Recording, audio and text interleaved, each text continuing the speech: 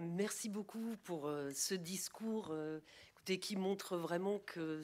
ce colloque-là n'a pas été organisé, conçu comme un événement juste à l'occasion de la Journée internationale des droits de la femme, mais que tout ce qui concerne l'égalité entre femmes et hommes est vraiment une priorité au CNRS,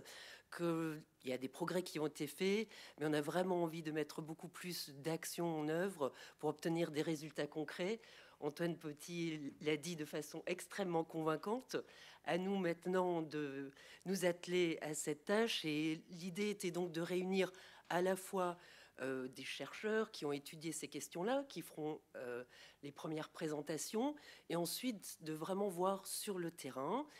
C'est pourquoi on a vraiment tenu à avoir des témoignages de doctorantes, post-doctorantes et jeunes chercheuses pour qu'elles nous fassent part de leur expérience, qu'elles nous indiquent aussi ce qu'elles verraient comme amélioration. Et enfin, la dernière table ronde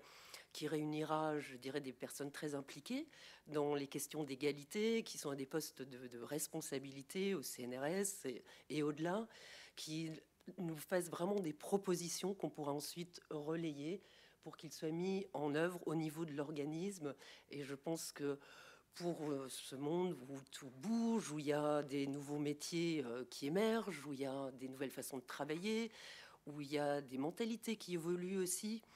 même s'il y a encore beaucoup de stéréotypes qui perdurent, il faut plus que jamais que la, recherche reste très attractive et euh, pour les jeunes en général, les femmes notamment, mais pas juste. Euh, je pense que toutes ces mesures-là euh, seront valables aussi pour les, hommes. Et essayer, voilà, que ça reste vraiment une, une aventure qui attire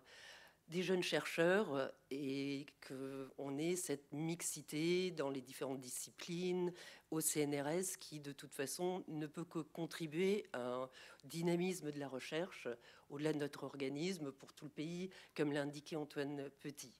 Donc, en tout cas, merci beaucoup à, vous tous d'être venus. Je pense que nous allons maintenant passer aux présentations qui vont vous donner le cadre général, les derniers résultats d'études qui ont pu être menées.